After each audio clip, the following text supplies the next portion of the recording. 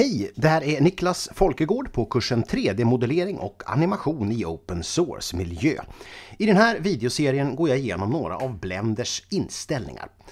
De flesta inställningar i Blender går att ändra. Ändringarna sparas automatiskt när du stänger Blender om du har alternativet Autosave Preferences aktiverat. Annars återgår det nästa gång du öppnar Blender. I den här videon visar jag hur jag gör för att aktivera CUDA för GPU-rendering.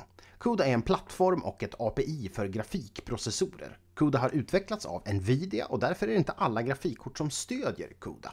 Om du har ett grafikkort som stödjer CUDA så kan du låta renderingen skötas av grafikprocessorn istället för huvudprocessorn. Och det kan snabba upp vissa former av rendering.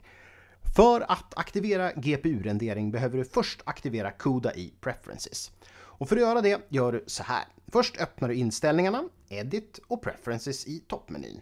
Och sen klickar du på fliken System och där klickar du på knappen CUDA. Sen markerar du det eller de grafikkort som du vill använda. Sen sparar du inställningarna eller ser till så att du har Autosave Preferences aktiverat. Det var det. Tack och hej!